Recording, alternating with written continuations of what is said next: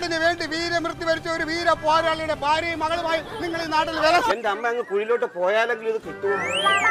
നിങ്ങൾക്കൊക്കെ വോട്ടിട്ട ഞങ്ങളെ വേണം പറയാൻ. സന്തോഷം.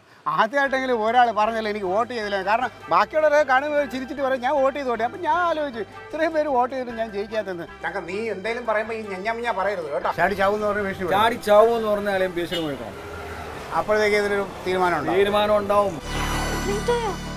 എവിടെ? അയ്യോ.